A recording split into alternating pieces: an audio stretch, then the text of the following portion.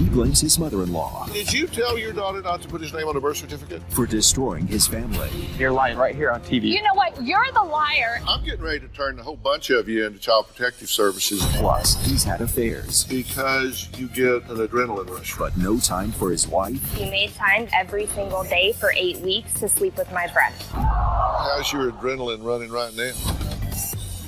Let's do it. Have a good show, everybody. Here we go. I hate to see people suffering, and you've heard long enough. Stand by, Dr. Phil. Wilson, take I'm going to get you the help that you need. In five, four, This is going to be a changing day in your life. go, Dr. Phil.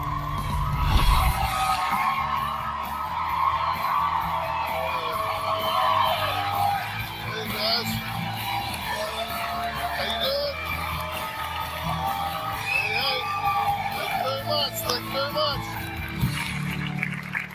Well, Joey says all of his dreams came true the day he and his wife Amanda started a family.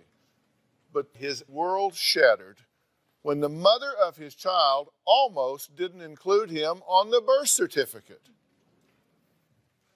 Things got even worse when Amanda took their daughter, walked out the door, and filed a protection order against him just six months after saying, I do. And who does Joey blame for destroying his marriage? Himself? Not hardly. His mother in law, Mina, who he says treats him like the scum of the earth. Take a look. Well, the first time our family was introduced to Joey, he said, Hi, my name is Joey. I'm never wrong. My mother-in-law, Mina, was very judgmental towards me. She just didn't like him. Joey is a very hostile, volatile, and disagreeable person. My mother-in-law, Mina, is controlling, mean, and spiteful person. When Amanda's cousin got married, at the wedding reception, he was yelling and screaming obscenities at Amanda. And I said to her, if he's mean to you, and you can break up with him right now, cut your losses. We started fighting a lot after I found out I was pregnant. My mom told me not to put Joey's name on the birth certificate until we were married. He reacted very poorly when Amanda told him. He became very hostile towards me. How dare you say something like that? Once my mother-in-law, Mina, started pressuring Amanda into leaving my name off of the, the birth certificate, I knew that we were not going to get along. The big turning point was when he pushed me against the counter. I knew at that point that I was definitely unsafe around him. First words out of her mouth is, I can't believe you pushed me. You pushed me. I called the police and I left with the clothes that my daughter and I had on our back. That was her breaking point. That was her proof that she could take to her family and say that I was a violent person. My daughter's marriage is over, and I blame it on Joey. Well, Amanda says her estranged husband Joey needs to stop blaming her mother Mina for destroying their marriage. I have been told by Joey that he thinks that I'm crazy and that he thinks that I'm controlling and that he thinks that I am doing all of these things with malicious intent. I believe my mother-in-law, Mina, is about 90% responsible for all of our marital problems. My daughter had a protective order issued because Joey is violent and unstable. He has sent me text messages that say that he was going to come to my house and this and that and the other. I have sent some pretty nasty texts to her. She submitted a lot of these texts to court, but then she she deletes out all of her text messages back to me. She turns it into a one-sided conversation. My mother-in-law Mina bragged about how she worked so hard to keep the birth of my son from me. He existed in the world for a whole week and I didn't know anything about him. To me, being a dad is a lot more than just being able to inseminate someone. The question that I have for Dr. Phil is Am I just crazy? Because if I if there's something I'm not seeing in this situation that I need to be seeing, then I need to have it pointed out to me. Okay, you think that there is a possibility that you're over involved here? I'm open to any possibility at this point because clearly um, what we've been doing legally and whatnot is not working. How Parent time's not working, child support's not working. Because you forced your way in on our relationship. You forced your way in There on the relationship between me and my forced children. into our relationship, Joey. She she requested that the court put her in between me No, and my I requested. so she can be in control. No, I requested. you that she requested do that. so that she could be in control, so that she could keep my kids from me, so No, that she could make me chase no, them down, no. and then promise that oh, I'm doing everything I can to accommodate No, I asked her to do it because I can't deal with you because you are unpredictable and you are out of control when Why you do and I you need your to- mother involved at all? My mom was my support system, and she was the one who offered me to do the parent time and when you're out with that. when you have a protective order in place, it means that those two can't talk at all. So someone else had to do parent time. Okay, well, what's your ownership in this? he has none. I've wanted to be a daddy my entire life. But why did you say that you think she trapped you by getting pregnant? because she claimed that she believed she was pregnant once and even though i was nervous about it i was so excited to have a kid i did at the time i didn't even care who it was with i was just so excited i'm having a baby You say she's 90% of the reason that this marriage is caved in. 90% of the reason. And I ask you, what's your ownership? And you said, oh, I just wanted to be a daddy. I just, I mean, I just wanted to be a daddy. So you think you have zero ownership in no this? absolutely not i, I believe that uh, we we Well, we got did fight a lot. 90% here. Is the 10% divided between you I two? would say that, yes. And what part of that 10 would be you? i'm a vocal person i'm a very passionate person i i i like to say what i think a lot Well, let me ask you about that. Uh, did, did you wind up in contempt of court for failure to return her personal property and failure to comply with a protective order? I, I did end up in with a contempt of court charge because of it, but So at the same time, yes. Yeah, but at the same time, she had come and picked up her property already. I don't have any of Mm-hmm. her property. Have you yelled and thrown things at her while she was pregnant? I have never thrown anything. But yes, Did you I throw a yelled. baby mobile at her No, I haven't thrown anything at her ever. during a fight? I believe I have Did have. you kick the car during a fight? The police were no, called? there would have been a da- there, the the police weren't called because there wasn't any evidence. There's no police report. Did you push that. her into a counter when she was eight weeks pregnant? Uh, I tripped. We tripped over each other, and yes, I did back her into a counter. Yes.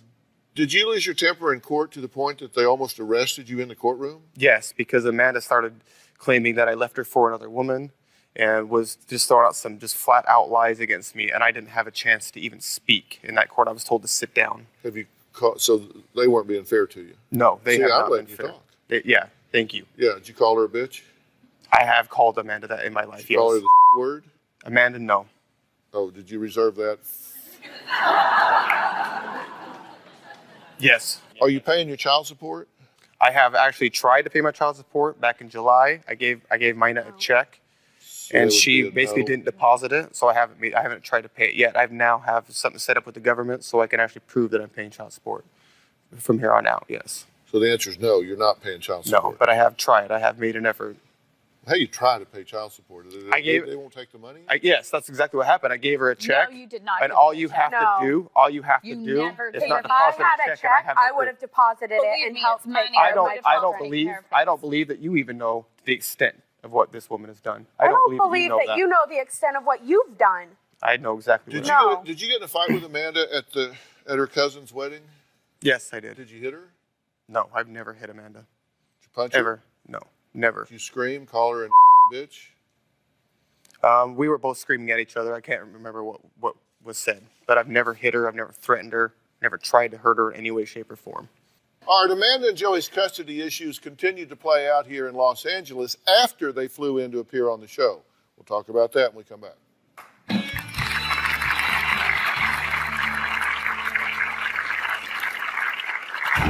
September 4th was to be parent time. He showed up at my door. Joey Lou, of course, runs straight to her daddy. I picked her up, threw her on my hip, and took off. I'm like, where are you taking her? So I called the police. My worst nightmare is that harm would come to my grandchildren. Amanda called and she was crying. She was hysterical. She was bawling on the phone saying Joey had thrown the baby's mobile across the room at her. She was scared to death. She was terrified. I told Amanda, this is abusive. This is just going to get worse. Well, that was Mina talking about her son in law's violent outburst. Now, Mina says dealing with Joey's parent time is always a fight. She says she's just tired of all of his antics. But Joey show up says when you're supposed to his mother-in-law be home, is just plotting to take away his children. Take a look. My worst nightmare is that harm would come to my grandchildren. Mina has worked very hard to make sure that every single visit I have with either of my children is in her home. You know, she wants to pick a fight every single time we get together. September 4th was to be parent time, and he showed up at my door an hour earlier than typical. And Joey Lou, of course, runs straight to her daddy. She's excited to see him. He picks her up, says blank to me. Mina had told me that I'm not allowed to, to take her out of the house. So I just went ahead and, and picked her up, threw her on my hip, and, and took off. I'm like, Where are you taking her? And when are you coming back with her? He won't answer me, so I called the police. A couple of cop cars tried to stop me because I guess Mina told them I was trying to kidnap my daughter. I really don't like at all the way that he's handling his responsibilities as a parent and handling these parent time exchanges, but I'm not in charge of him. Not anymore, you're not. I never was in charge of you, You Joey. really tried. Okay, I, I asked him what percentage of this he had. I, he said my- 90% of the reason my marriage is caving in is my mother-in-law. Mm-hmm. At least 10% divide between the two of you. I went. He said these are all just misunderstandings. He's trying to pay his Right. child support. He, he didn't. Do you work? So I work six days a week. I pay for everything for my children. I've offered to take care of childcare, and you won't even tell me where she goes. You won't even. I don't even get to know where she's at in, in daycare. Do you because work? you're violent. Yes, Um, I work full time. you, you work full time. Uh, have you always? Uh, I mean, I I have always worked full time. I've had some some time where I didn't work. Yes. Did he criticize you for working so much? Yeah, he got upset. Well, it seems like you were working like sometimes Around 11 hours a day, mm-hmm. and he wasn't working, mm-hmm. but he was criticizing you for working so much. Yeah. That's what you told Because he us. wanted me to come home. He also wanted me to come home and cook and clean and do everything You've else never for cooked him. or cleaned in our entire relationship. You've never cleaned a single thing. In fact, you That's stored you stored dirty diapers under our under our daughter's playpen That's because I kept asking you to throw them out, and you and you would leave them in the bed. You would leave them on furniture, Oh, and you started hiding them under the playpen because Yeah. you refused to clean anything. Yes, because Yes. that's what I wanted to happen. so, what happened playpen. once you guys got here? Well, Saturday night, my stepdad, Donald, called Joey to ask him where to do parent time, and he said, I asked you not to talk to me. Which I have done. I- I, filed a police report asking. The, I the decided to take it upon myself and figure it out, and it was a three and a half hour battle to get you to tell me where you wanted to do parent time. Instead of just saying, Yes, I'd love to do parent time, Amanda. Here's where I'd like you to drop our son off. Because you're required by law to let me know if you're taking our kids out of state. I had made arrangements to have the, have my, My lawyer tried up. to contact you. You didn't respond. I was supposed to receive an itinerary. I was supposed to receive contact information. And, and Okay, I have well, no I could have left our our son home. I I could have have left no our, idea where I could have left our son no home idea. and been in contempt of court for not giving you your parent time, and you would have thrown that in I my had, face. I had so I brought our son. I to get him fought to bring our son. Station. You wanted to meet me on the street. Uh, well, somewhere. here's the te- Okay. th- there's actually a text record of all of this. Uh, Amanda wrote this text to Joey. The bottom line is, do you want to see our son? Me, you, my mom, Donald, and everyone at Dr. Phil knows you are here. If you do want to see him, my mom and I will meet you so you can have your parent time. Joey to Amanda. The bottom line is that I have made arrangements with my family to pick him up where and when we agreed. The bottom line is you broke the law. So Amanda says, okay, fine. Don't see your son tomorrow. Just remember this was your choice. Let me know no later than 10 a.m. tomorrow morning if you change your mind so we can make arrangements to meet. To which Joey responds, You don't get to threaten me. The court order doesn't give you the power to take my son out of state and make demands like this. Does he harass you when you're out with friends? When we were together, he would call That's me what I'm all the time to find out when I was going to be home, why I wasn't home, why I didn't want to spend time with our family, why I would rather be with my friends than with him.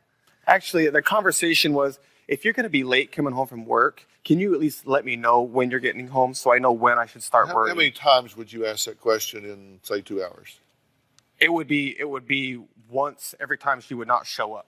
She would not. I, I, I never, never called not her came while home. she The only out time I ever went to What do you call Friend's house. harassment if you were out with friends? asking what my I mean, would what, he call what my you a daughter lot? eats Would every he text day. you a he lot? called what was me it? and texted me the whole time I was with them until I finally gave up and just came home. Like how many times? Probably a good ten times How many times did you respond? two-hour period. And you're lying right here on TV. You're gonna lie.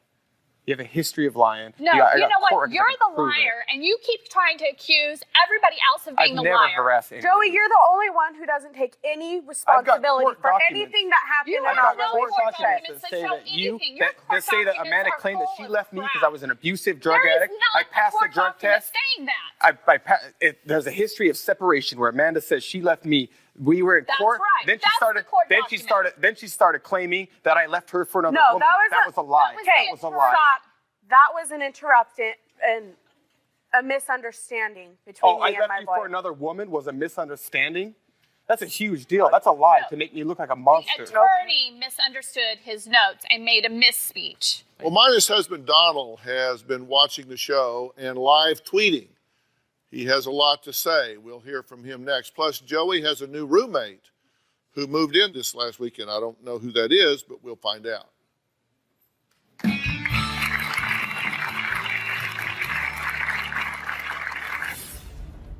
Joey, you got threw one- a mobile at me when our daughter was a month old. Thing that You threw our daughter's maybe- mobile at me when we were a month I old. tried to take our daughter. You are a violent right person.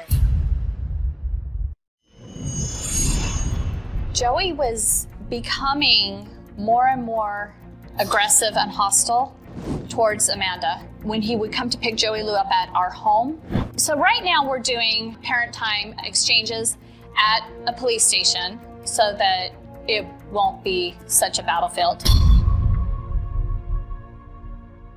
Well, Joey claims that he wants to divorce his mother in law, Mina, who he feels has conspired with his estranged wife, Amanda, to take away his children.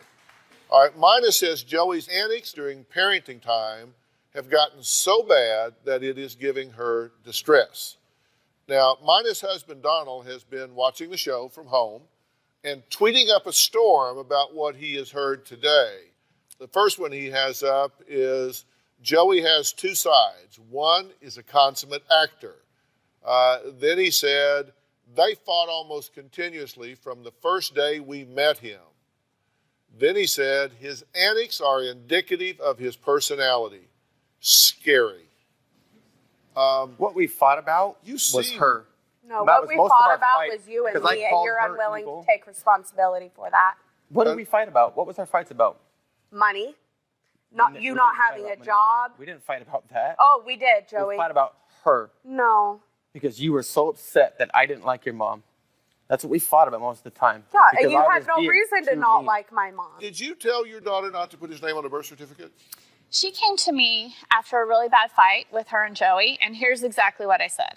She was upset. It had been a terrible, terrible argument. She was newly pregnant, and I said to her, There are other ways to handle this, Amanda. You don't have to get married to him. You can break it off now. You can cut your losses. You can have the baby, not put the baby's any information on You the asked her to birth claim certificate. that she didn't know who the dad was. Just and put No. nothing on the birth certificate. only And there way are ways that. in the state of Utah that if he wants to be the parent, he can take care of that. But commonsensically, is that reasonable? Is it fair? I mean, this is the He father was already of that being child. so violent and so vo- hostile towards her. Where's the police reports that say I'm violent? We if have I'm so the violent, police reports, you Dr. got Phil. You one. have You the admitted in the police one. report that you pushed me, Joey. I, I will say that I did admit that. and I ended up admitting it in court because my lawyer said, "Don't fight the police report." I And then you're him gonna try happened. and say I no? Tripped, I tripped over us. That's we, We interesting. tripped over each other, and that's what happened. Mm. And I, I had to go with it because the because the cop says Because yes, you he admitted it in the pushing me. police report. But he did say there was no domestic violence. Otherwise, I would have went to jail. And then you got one one instance in all of this stuff where you're claiming that I'm violent, throwing things, I'm hurting people. Joey, you got threw a mobile at me when our daughter report. was You a month old. Thing You threw our daughter's maybe- mobile at maybe. me when we were a And month I old. tried to take our daughter. You are a violent person. Okay, who's your new roommate? My girlfriend. His second, Second girlfriend. girlfriend since November. Does that make me a villain? At, while I you're left, I still left somebody divorced, who's a because I left somebody who was not a good person. still not divorced. What do you care who he's dating as long as it's not your daughter? Well, here's the only uh, only problem. He has the two year old call her mommy. My two year old calls her. Her name is. That's what my two year old calls her. She called her mom because because my girlfriend had a teenage daughter that called her mom. And one thing about about Joey, if you know anything about her, she likes to be big. So she so she hung out with that teenager and she wanted to do everything that teenager did. That wasn't my plan. I just didn't fight it because it made her feel big. She never called her mommy. She called her mom. Amanda was mommy. I made sure that there was a distinction so that she knew who mommy was. Except the same for way I when won't we let her were call me talking on the phone, you'd be like, "Oh, you want to come with mommy and daddy?" Never, ever in my life have I ever called her mommy. Anywhere, Okay. anytime, ever. I want to know what would have to happen here to make you happy and peaceful about this situation. Joey and Amanda both say they want to learn how to co parent their children as a team. um, so we'll see if something can happen to put the anger and game playing aside long enough to give their child a chance. We'll be right back.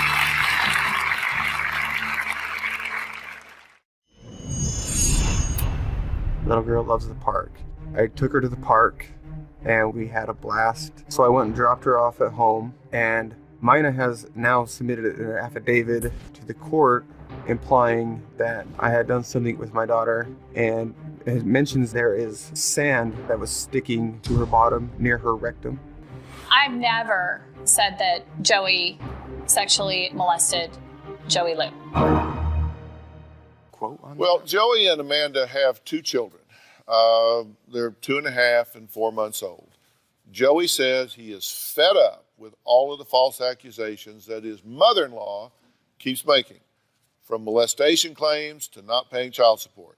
But Mina says she is fed up with his antics and just wants him to be civil. Is there anybody here that is implying, insinuating, or otherwise suggesting that he is molesting uh, his daughter. No, No, and it's never been said. it's that's never been said. I, I, I just got a It's public lie. record here on national television, of which you will have a DVD, where they acknowledge you are not doing anything inappropriate with I'll- your daughter in that it. regard. Don't argue with a good outcome. Listen, I'm getting ready to turn a whole bunch of you into child protective services if you don't behave yourself. I'm going to say this to y'all one time, and you're either going to hear me or you're not, and understand when you choose the behavior, you choose the consequences. You are hurt and you're angry, so you're being jerky towards these people. I'm not saying you are a jerk, you are behaving in a jerky fashion. Y'all are very hostile and defensive, supposedly on behalf of the children, against this monstrous human being over here. So instead of being mature adults that sit down and say, you know what, this was a bad decision for us to get married. The only good thing that came out of it are two beautiful, precious children. We don't have to like each other. We don't have to see each other. We can spend whatever money it takes to do this through a court appointed intermediary. But if that's what you need to do to get through right now, then that's what you need to do. You are an adult. Deal with the father of your children. Right. She's here to support you. And I think you are well intended and mean the best for your daughter and for these children. I, I don't question that. But you two don't get along. So disengage. But you are going to have to have these two children in common Right. for the rest of your lives. Mm-hmm. When you are ready to act like adults instead of hurt teenagers, then you can learn to co parent.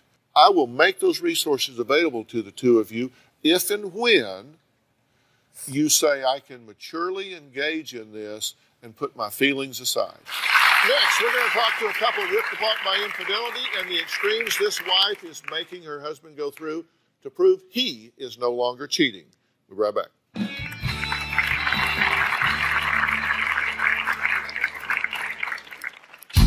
two weeks before we got married, I had an affair.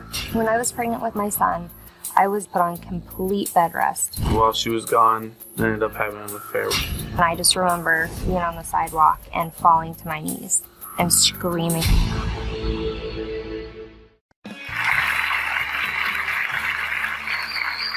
Well, my next guest, Matt, says that he is addicted to the adrenaline rush he gets from cheating. Now, he has admitted to three different affairs. One while his then pregnant wife, Ashley, was in the hospital with a life threatening condition. Take a look.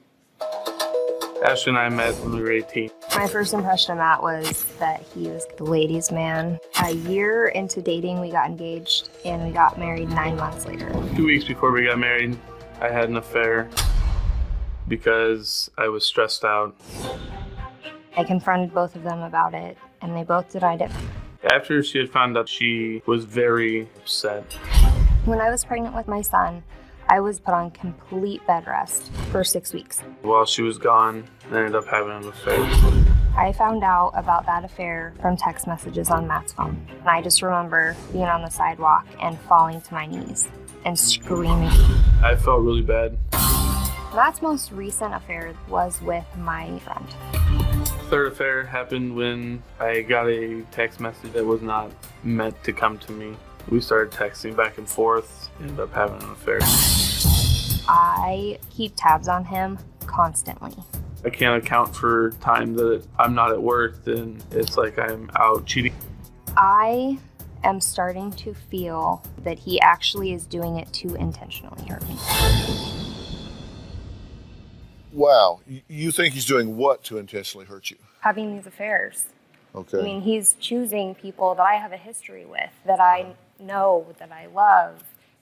and you say that you have had three affairs. Correct. You think more, Oh, yeah. and you think longer than what he said. For one of them, For yes, one of I believe okay. it went on longer. And you say you're doing this because you get an adrenaline rush from it. That's the only thing I can come up with as, as to why I'm doing it. One encounter was when I we were at her house for a family picnic, and there was an encounter of the two of them in the bathroom, and I actually came in the house, and she had to hide in the shower. And afterward, he told her how much fun that was and what a rush it was because he loves close calls. How's your adrenaline running right now? the first affair was two weeks before your wedding. Yes. Your second affair uh, was a six-week affair with a friend while she was in the hospital on bed rest. Uh, The third affair was eight weeks with another friend. Right. Okay. Um, now, she thinks you've had more affairs, have you? No. Why would she believe you? She has no reason to believe me. I've never given her a reason up until now to He's believe still me. not giving me a reason to believe him.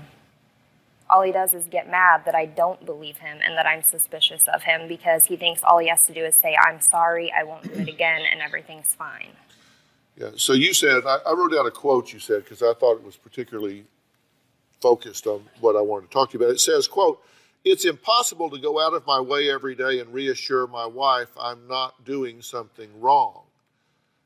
So you basically think that this is just too much trouble. She's overreacting. She just needs to get over this. No, I don't think that she just needs to get over it. It's just there's times during my day I don't have time to drop everything I'm doing. But you know what? He made time to drop everything he was doing every single day for eight weeks to sleep with my friend. He found the time for that. What do you want from him? I want him to stop thinking that he can solve all of our problems with his words. I want him to back it up. In what way? I don't even know. Well, That's why I'm you- here because I I'm know, so but it's hard I'm to so prove damaged. that you're not doing something. Exactly. And that's what I've told him. I said, You need to prove to me that I'm the only one for you and that you love me and that you don't want anybody else, and you're not doing that. He is putting his job first. He admits he puts his job first. He will drop everything we are doing together as a couple, as a family, and deal with something from work that could wait until he goes to work tomorrow. So you're not feeling valued. Absolutely not. You're not feeling a priority. Oh, no, never. You're not feeling loved, Never. attended to, Never. cared for, No. nurtured, courted. No. You're just kind of there. Do you love her? I do. I love her a lot. Were you in love with her when she was in the hospital on bed rest having your baby and you were out having an affair with somebody else? Yes. You loved her then? Yes. I have always loved her, even through the things that I've done. Even though after that affair, he tells me now that he doesn't remember being sorry. Just how much has Matt's cheating affected Ashley? Well, you're going to be surprised. We'll be right back.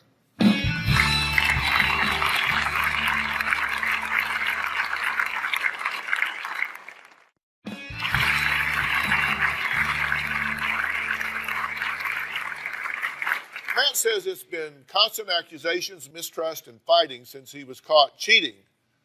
Not for the first time, not for the second time, but for the third time, just 18 months ago. He says he's tired of having to go out of his way every day to prove to his wife, Ashley, that he is not doing something wrong. So, what would you like for her to do? Eventually, to be able to trust me again, like to show to her that I do love her and I do want to be with her forever. But he just wants it to happen. He literally brought me a Starbucks one day when he came home from work and used it for three weeks. But I brought you Starbucks the other day. Doesn't that count for something? Oh, I'm sorry, you slept with my friend for eight weeks, so you have eight weeks worth of Starbucks to bring me.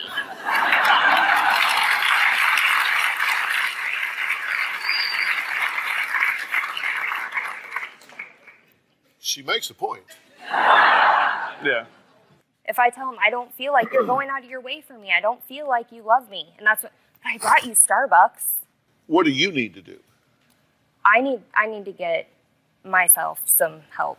My health, my emotions, my mind, everything is gone. At this point, I don't I can't look at him and say that I love him. Do you understand that you're the one that ran this off in the ditch? Correct. Yes. So if if you run a car off in the ditch, isn't it kind of your job to get it back up on the road? Yes. It is my. And if you ran it off into like not one ditch, but a second ditch and then a third ditch, so you're like three ditches off the road here. And so you don't go out there and tow it back up on the road for five minutes or 10 minutes or an hour or two hours. You do it until it's back up on the road, right? You Correct. ran it off, Yes. you get it back on. And you need to be asking what it is she needs from you. I guess one of the things that she asked me to do is to call her or text text her while I'm at work. And there's times where, and she'll say that I, I needed to text her and I didn't have time to. Like there's days where my boss shows up, and we walk my store, and if she calls and I run late after work, she'll be, well, why didn't you let me know that you were going to be late? You need to let her know where you are and what you're doing. It's just that simple. Just let her know where you are and what you're doing. And in case you haven't noticed, one, she is the mother of your children, and two, she is way cute. So you need to really, you need to really work on this. Okay? Now let me talk to you about what you need to do. This has really gotten to you. Oh yeah, And Your stomach's a mess. Like all the time. Irritable bowel to that point. You're having trouble sleeping. You're saying your face is breaking out. You're having flashbacks. I mean, you're describing PTSD, right? Yes. That this was a big trauma. I'm actually having flashbacks of things I didn't see, but details. I was told Right. about his affair with my friend in very vivid detail. Right, and you're playing that out Yes. in, in your head.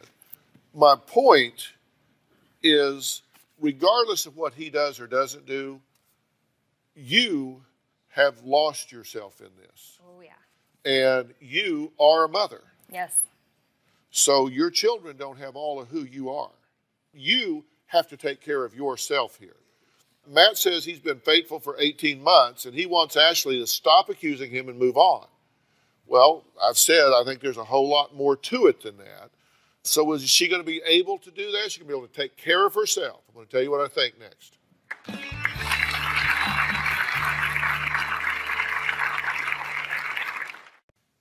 Okay, now we've been talking about what your symptoms are here. Clearly, symptoms are something that typically are in reaction to something, either an infection, an illness, a trauma, an event, or whatever. You're having symptoms of anxiety, right? Yes.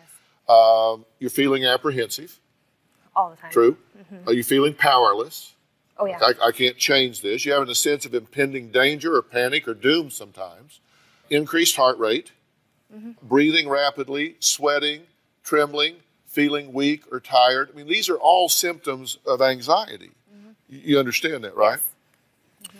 And that affects the way you are as a wife, as a mother, A uh, friend, just a as a sister, person. a daughter, it's affected every single part of my life. It, it affected every part of you. Now, the only person you can control is you. You can't control him. You have to take care of yourself because this has gotten to the point that it's gotten a grip on you, and you have to consider PTSD is an issue here.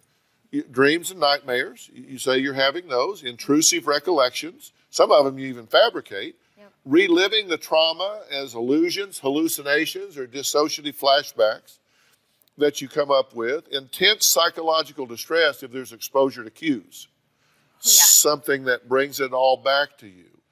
Uh, you have this psychological reaction to those cues. You might avoid thought, feeling, or conversations about it on the one hand and then can't turn it loose the next. You may avoid activities, places, or people because you just kind of want to curl up and get in that fetal position because you feel detached. You can be irritable or aggressive, right? Yes. and you deserve every bit of it. So, so you've got you've got symptoms in in both of those things, and the first thing we have to do is get you under control right now in the short term because this is gaining momentum, right? Yes. So you uh, acutely you're in a conflict here. You guys need some help as a couple. I'm going to make arrangements for that. So thank you so much. I appreciate it. We will get you the help that you need. I want to thank all of my guests today. Uh, thanks so much for being here. So long.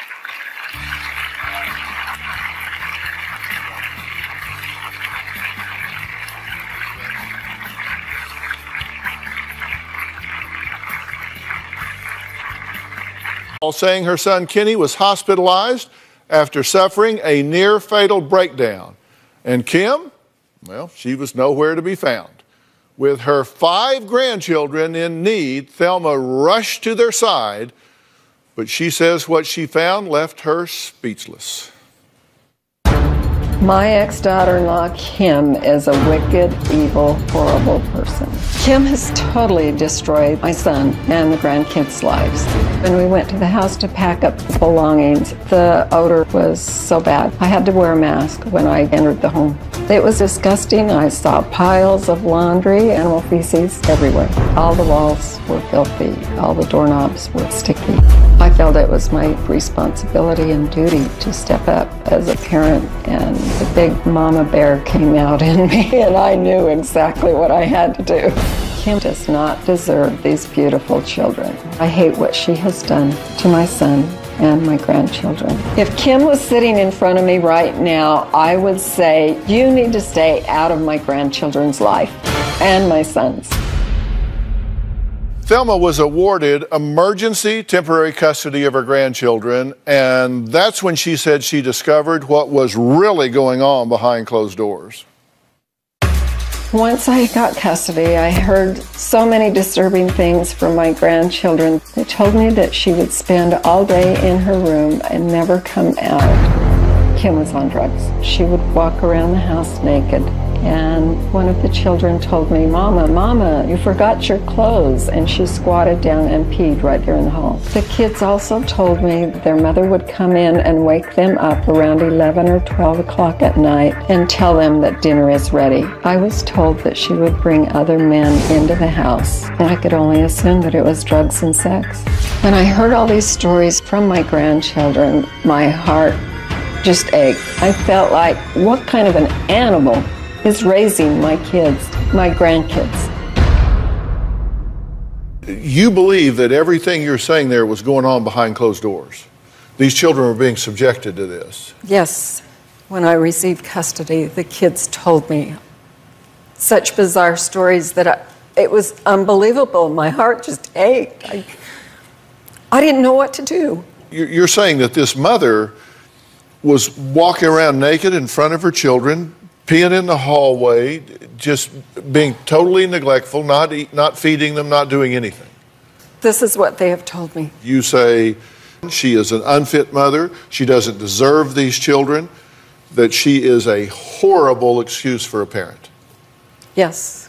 Kim is here. She says Thelma is flat out lying and is on a crusade. Not just a concerned grandma, she is on a crusade to ruin her. My mother-in-law is spreading lies about me, my children, and her own son. She wants to eliminate me from my family's life completely. Thelma tells my kids I'm a bitch, I'm evil, I'm a whore, I'm Satan's spawn. It's been about a year since Thelma took the children from me. Thelma had gone to a judge, told him that I had abandoned my children. I didn't abandon my children. I was struggling with addiction. This is the only way that I have to see my kids. Looking at the pictures and Kenny posts. I miss everything. Birthdays, holidays.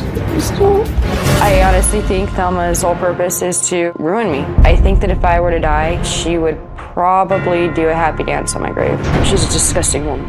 She pisses me off, and I hate her. I hate her with every ounce of my being. Well, Thelma and Kim haven't been face to face in over a year, but Kim is here now, so I'm going to ask her to join us and let's just talk this through.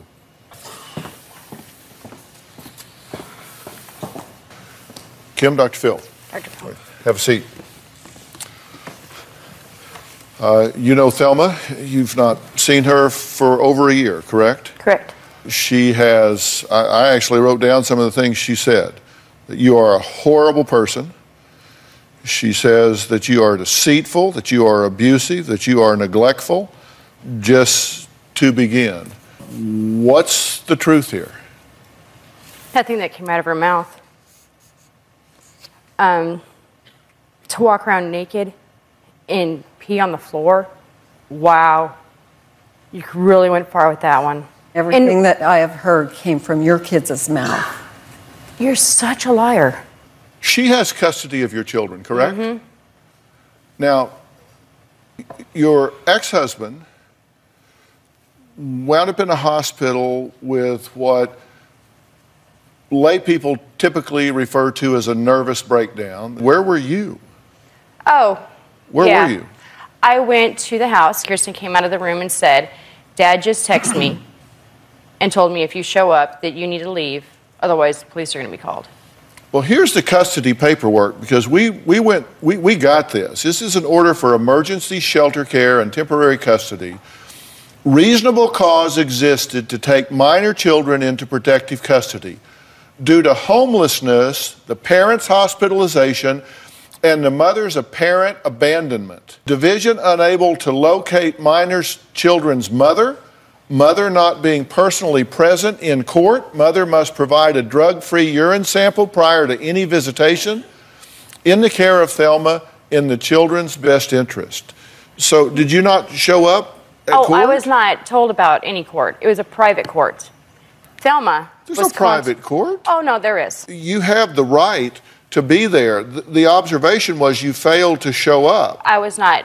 I was not noti- okay. I contacted Thelma three times. I didn't know about the hearing until after. When Why Kenny were you calling her? To find out what was going on with the kids. She had told my other children not to answer You the knew the address. And I tried stopping by. No one was there. That did you, Did you have sex with a 17 year old friend Nope. of one of your children? No. And he was 18, and it was after our divorce. and it was after we were divorced and everything else. My kids were not involved in any of that until Thelma brought it into it. So the boy was 18. He was 18. It was one of your children's friends. No, I did not know he was one of my children's friends. Let's take a break here. Next, Kim's two oldest children say their mother is evil, cruel, and twisted, uh, and has completely robbed them of their childhood. We'll be right back.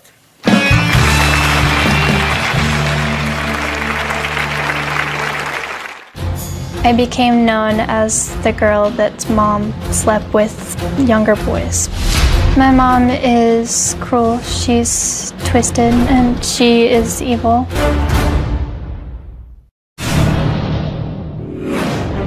My mom is a terrible mother.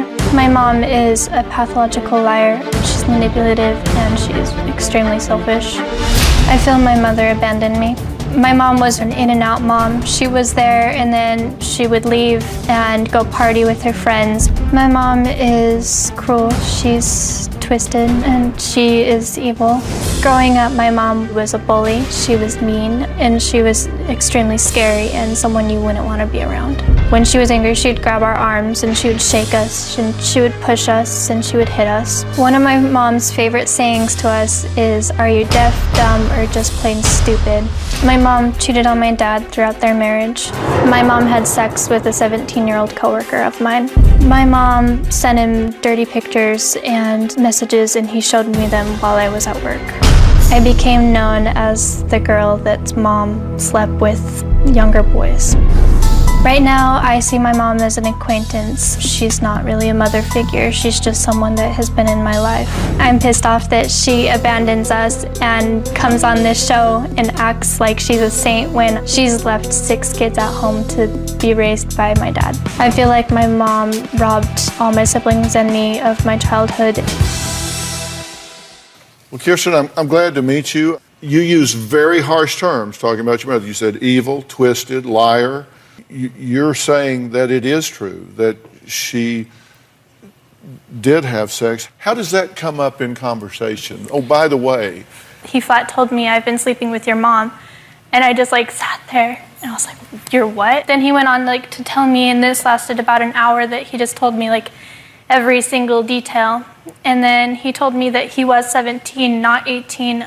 and he showed you the pictures. Mm-hmm. So you saw them with your own eyes. I did. And it was your mother. Yeah. Okay. And do you deny this? I yeah, I never sent him pictures, texts and stuff like that. Yeah, but But you know, were the pictures taken? there was never pictures taken. She saw the pictures. Are, are you are you saying that she's lying? No, I think that he was lying. What that was hap- it, your mother? I just saw um, breasts and down. I couldn't see her face, but he told me it was her. And you did have sex with him. Yes. There was a lady that came over to our house and almost killed me because you were sleeping with her husband. She almost No, me. I wasn't, She Kirsten. slammed me up against the door and thought I was Kim. And she showed up to Kevin's house with a gun. I almost died because of it. Kirsten, I'm going to tell you right now, I had no idea that any of that was going on, and I was not sleeping with her husband or anything else. I wasn't doing that. You left in October. We had no money. You, what did you do to our food stamps? We had no money. I know, Kirsten. You know what we did for my birthday cake? We put sugar in the pot and put water in the pot, and like that's what we did for a birthday cake and icing, and it was awful. But we didn't have any money to go buy a cake. No, I didn't have any money to get anything for my birthday, and it was fine. But you left a week before my birthday. Okay, She sold the food stamps for drugs. Do you remember leaving these kids in the car for hours while you would go and do drugs? No, I didn't ever do that. One thing that I told my kids was that um, I can't take back anything that I did. I can only make and you from what I can't do change better. what you don't acknowledge. And you've got this girl sitting in front of you now, making the effort to tell you what's in her mind and what's in her heart. And you insult her by trivializing it. Is that what you want to do with her? No. What do you think about all of this? There is six kids without a mom, and I'm 18 and I'm taking care of the kids. Well, joining us via Polycom is Kim's oldest son, Kevin, who says he is so done with his mother he wouldn't even attend her funeral. Uh, Kevin, I'll turn it over to you. You don't even know your grandkids because you cannot stay away from everything that makes you evil. Kevin. You can't tell me that this is brainwashing from grandma because I haven't talked to her in a year. Kevin, you don't let me see the grandkids when I'm down. I would stop. Because you're on drugs. I was sober, Kevin. I've been sober since last March. Really? Explain the drugs I found in my garage when you helped me move. Kevin, I've been sober since last March. But you also left in October, a week before my birthday, for drugs. Your dad And you, kicked- no, wait. You were, I cleaned up your drugs in your room. Your dad kicked me out, and I was on drugs, Kier. But that wasn't a year ago. That wasn't 11 months ago. That was in October, and it was before that. Me, I'm the one that cleaned up your drugs. I was on drugs, Kier. That's why your dad threw me out. Let's take a break. So, where was Kirsten and Kevin's father while all of this was going on? he's here, and he says not only did he have no control over his ex wife, he says she nearly killed him.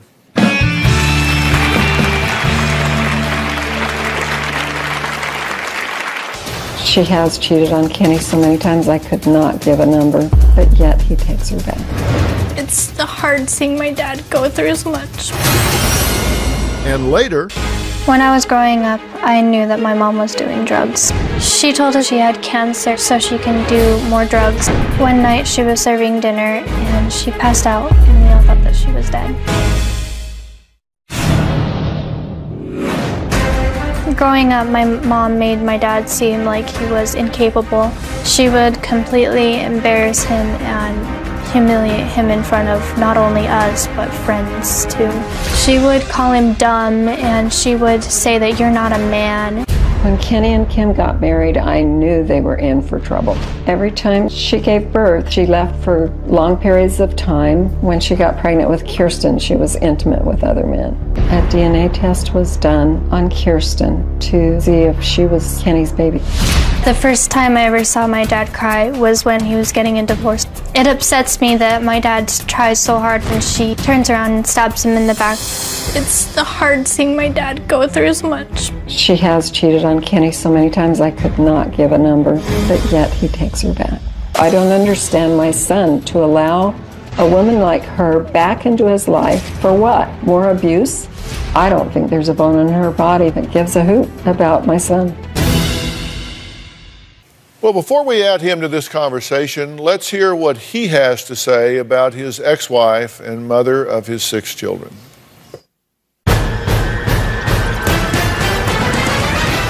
The only girl that I've ever been with. I lost my virginity to her. I think that I will always have feelings for her, but I am upset with her for what she's done to the family. When we were married, she would take off and leave, oftentimes with a newborn baby in the home. I had a good career. Kim really ruined my name in the industry. One time she asked me to take out her trash can, and as I was dumping it, I saw a note in there, and it was from another guy, and it said something to the effect of, I see you laying naked on the bed, and you're so beautiful, and that was painful. She probably cheated a thousand times easily. One time she pocket dialed me and answered hello, hello, hello, and I could tell that she was in the middle of having sex with somebody. She got pregnant with another man. I knew I wasn't the dad. I told her that, Kim, I don't think that I can be a good father to this child, and that the baby was placed for adoption. She made fun of our son that has a speech impediment. She would call him a retard. She would say stuff like, duh, duh, duh, can't understand you. I stayed with her because I loved her. I stayed with her because I wanted to keep our family together. I was willing to sacrifice, and I think I went too far. Is he wrong too?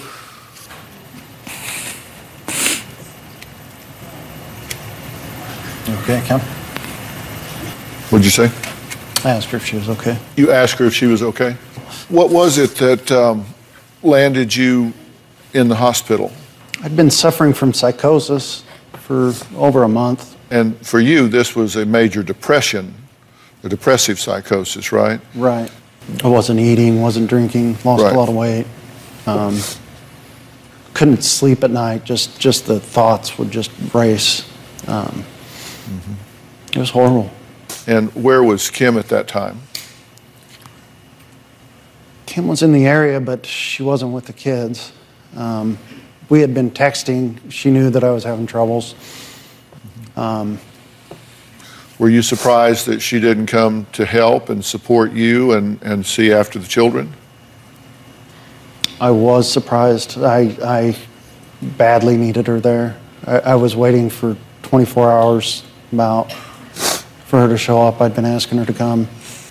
And um, it was during this two weeks that you moved for emergency hearing, got custody of the children, and removed them Yes. out of state to where you were? Yes, and Kenny was life flighted out of state, and we went. We happened to be there. We were we were visiting, and um, so we went directly to the hospital. And you think he wound up in the hospital because of Kim? Oh yes, And what He- was it that she had done to him? The drug abuse, the the lying, the cheating, the uh, going out with other men. Well, you would badmouth him to anybody you could. You still do to this day. Why would I want to do that? He's my own son. Yeah, you tell me. Yeah, you We've tell been me. asking Why would I for want to do that? Thelma. Why would I want to ruin him like you did? My grandma is going around town branding us as damaged kids and telling people that we're the meth babies. My siblings and I don't really like our grandmother.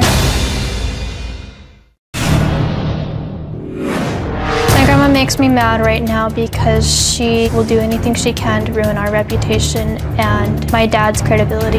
My grandma is going around town branding us as damaged kids and telling people that we're the meth babies. She's going over the top on some stories and twists them. I was miserable when she got custody of my siblings. I feel like my grandma doesn't approve of my mom and never has, but the fact that my parents still talk, she obsesses over. My grandma's goal is to completely get rid of my mom. My siblings and I don't really like our grandmother. You saw it as an opportunity to move in so that way you could get your son and the kids out there. That's all you did. Oh, I'm all these sorry. promises. I'm sorry. Yeah, I, I really. asked- Holy that's the first time I've actually heard that come out of your mouth. I felt like, oh, well, this is a great opportunity for Mhm. me to that's stay. All, that's it. Period. Great opportunity. Great It benefited you opportunity. to Can I finish? I am No, talking. I don't It's care. a great opportunity for me to stay in the motel with the kids because I didn't want to stay in your ha- filthy house. You sold everything else in the house.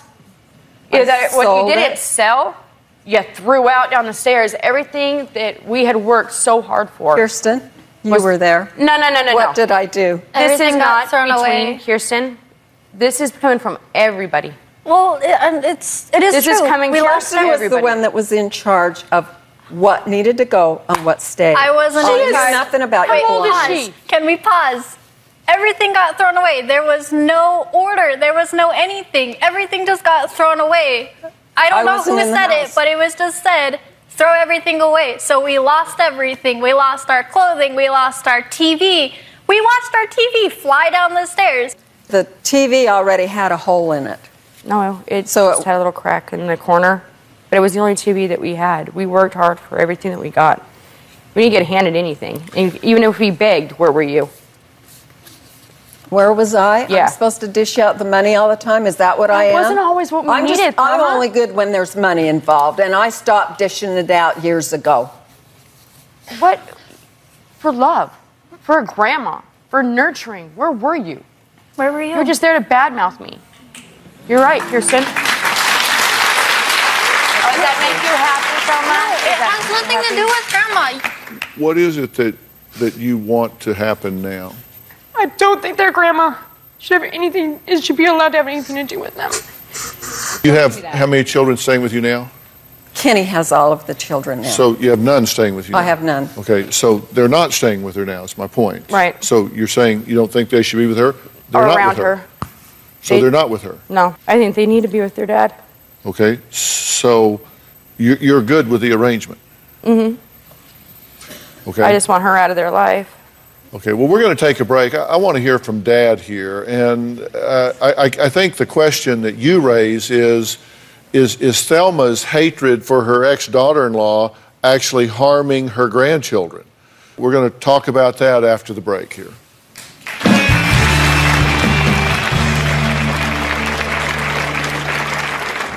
It wasn't enough for Thelma I had to tell the town, her friends, a judge, a caseworker that I'm just some woman who had kids and I don't want them. I think that's why she wrote into Dr. Phil Show is to try to convince everybody that I don't love my kids, that my kids don't want me, and she's gonna play the sob story and for me look at what all the horrible, rotten things I've done. Her agenda is to completely have me eliminated out of my kid's life.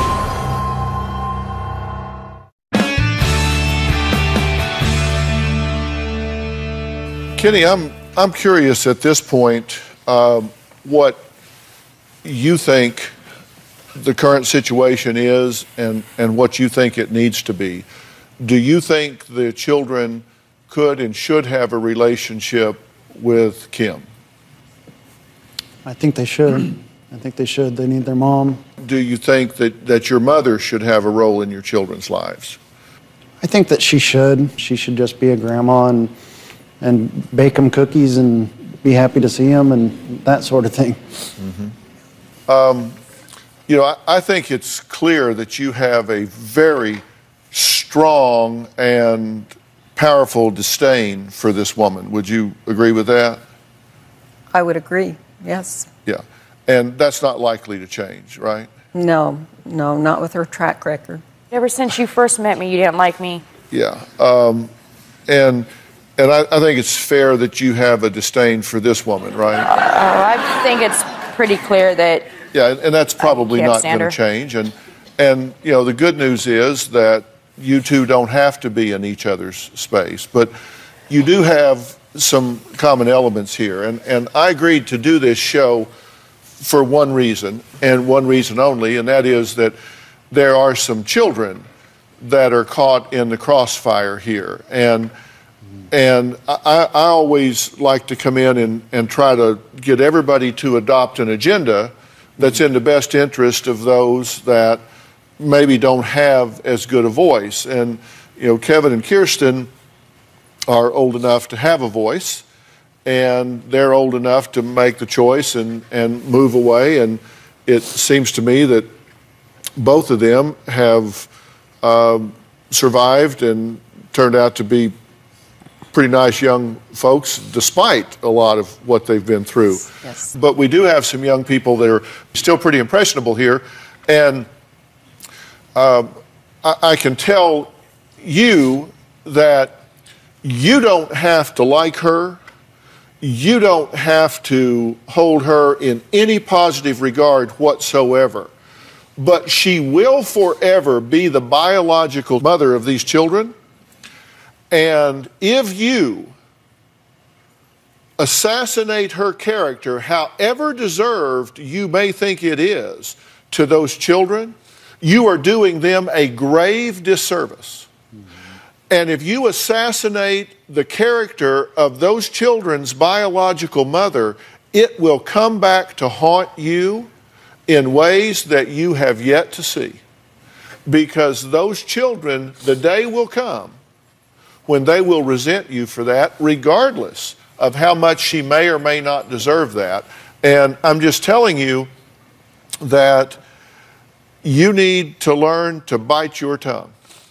Just simply take the high road. There's so much less traffic up there. Just take the high road. I've, I've done And- that. and- At first, I was shocked. I was shocked. I, I do, but just just take the high ground here, and you'll. It's so much more becoming to you to do that.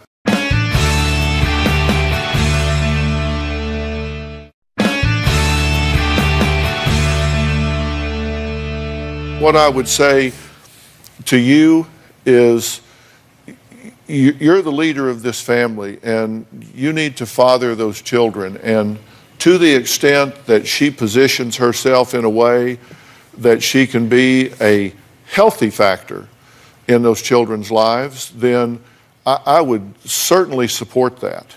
But do not be an enabler. Do not be blind and allow her to be in those children's lives. Parent is a noun and a verb. It's not just something you are by birthright, it is something you do, and you do it in a responsible fashion. And if she relapses into drugs, if she is bitter, if she is angry, if she is in denial, if she fails to recognize her responsibilities and does not respond to these children in a proper way, then you have to put very strict boundaries there. If she's living in motel rooms, if she says, I'm going to show up, and she doesn't show up, she has to become a citizen, a contributing citizen 1st mm-hmm. and become a mother second. If she's not, if she doesn't have a job and pay her own way and show up and become a responsible, contributing member of society, it's going to be a very difficult time to be a responsible parent. Mm-hmm. And it is your job however much you may love her and have a broken heart with her or whatever, Your primary responsibility, your undivided loyalty is to those minor children. Okay?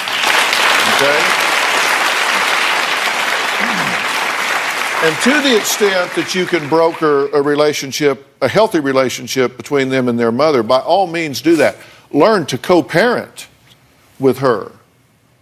But you cannot. Let me, when, when there are things like a woman throwing her up against the wall, was there a gun in her purse or not? You know, uh, th- the fact that those words are even in sentences involving one of your children is exclusionary criteria for her being in the life of your children. That kind of rhetoric must be excluded from conversations about mother and child. And until they are, she's not a candidate for being in their lives. So you need to make sure that's true. Okay? And you need some you, you need some help in coming up with a co-parenting plan, and I will get you the help to do that. Someone that will monitor that and make sure that that help that happens in a healthy way. Okay. Okay, I, will- I will. That's just my gift to y'all to do that. I, appreciate I that. want you in your children's lives as a responsible mother, but not as an irresponsible. You agree with that, right? Mm-hmm. You agree with that? All right. Coming up, a guest who says her body should be donated to science because she just doesn't sleep. We'll meet her after the break.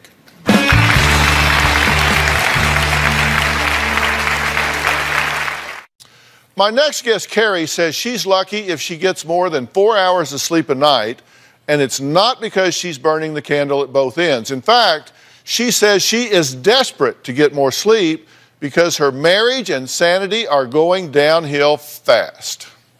I think I'm a freak of nature because I do not sleep. Dang it. What person does not sleep? I started having trouble sleeping after the birth of my son in 2008. He was premature and he spent nine weeks in NICU. So my son did come home. I had anxiety because I was so scared something was going to happen to him on my watch. My son was diagnosed with Crohn's disease last year. Now I don't sleep because anything can happen in the middle of the night. Another night. My brain never goes into sleep mode. It's always on. I toss and turn all night. The slightest noise will wake me up. I usually get anywhere from two to four hours sleep a night. And I've gained a lot of weight since I've stopped sleeping. I put on 100 pounds. Every morning I wake up with a headache. I'm angry and irritable all the time. My husband and I do not sleep in the same bed because any movement he makes will wake me up. Insomnia is, is destroying my marriage. I feel terrible that I put my family through this. I don't like the person insomnia has created and I do not want to share my bed with it anymore.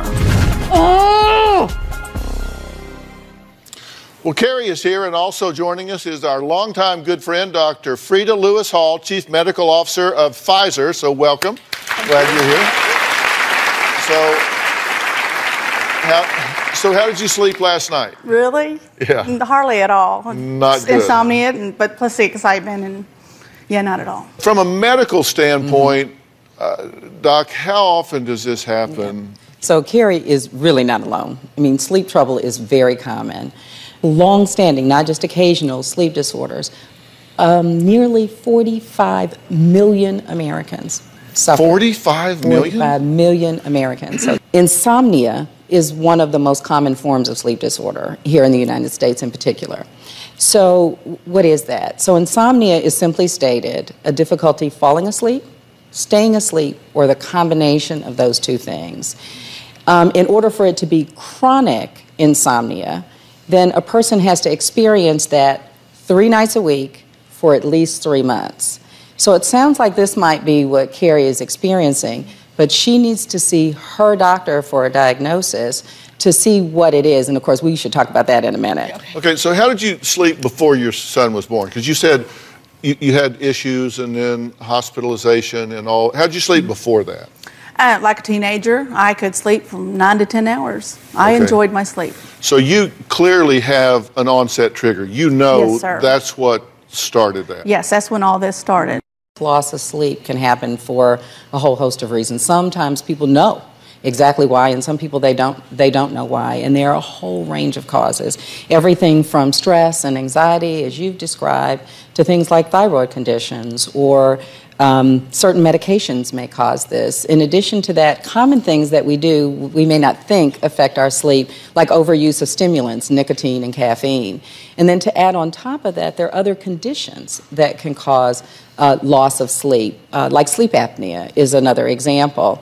And this, as you know, occurs frequently in people who are either overweight or um, who are obese. For and being another. a caregiver is clearly stressful, but and you know you had those issues early on, and now with Crohn's disease. Yes, sir. So you watch that, but look, if if, if you love your child, and you know you do, Yes, we know you do, then you have to take care of your child's mother. And that's what scares me the most because if I don't get rest, if I don't get sleep, I'm not going to be at 100%. Well, no, and you can't give away what you don't have. If if you're the only mother your child's ever going to have, and so y- y- you have to take the time and realize it's not selfish to take care of you because you don't want to be emotionally bankrupt, you don't want to be physically bankrupt, and you have to be willing to ask for help, whether it's for other people to help out or support groups or babysitters or family members. You've got to be willing to ask for help. Yeah, and, and I'd like to add on another really good reason to pay attention to sleep loss. So, you know, we know that there are a lot of things that happen, and Carrie, you mentioned some, you've just uh, mentioned a few others. Feeling bad the next day or over time just not being sharp, being um, less uh, alert and able to deal with things, emotionally bankrupt and physically as well. But that it doesn't stop there. So chronic sleep loss or lack of sleep over periods of time actually contribute to very serious medical conditions and can be life-threatening. So it's been linked to um, diabetes and heart disease. There was a recent study that actually found that adults who get less than six hours of sleep a night, six hours of sleep a night, over time have a four times greater risk of having a stroke. So this is a real health risk beyond the day-to-day risk that you carry. So it's especially important to take this seriously. Talk to your healthcare provider to get a diagnosis. Your healthcare provider may refer you to a sleep specialist uh, to help figure out what is going on. And the good news is that most sleep disorders actually can have uh, effective treatment. There's uh, psychological, behavioral, and or medical treatments that can be effective in treating sleep disorders. So there's a lot to know about them. This is a very complex area. Um, and of course, for more information on good sleep habits and information and resources for sleep disorders, you can visit gethealthystayhealthy.com. And interesting, I had a, a, friend that was having this kind of problem recently, and I sent him to gethealthystayhealthy.com. And they, you guys have a great action list there. There's like 10 points there. And he went through the 10 point list, and it talks about not to, he talked about don't take naps late in the day. Mm-hmm.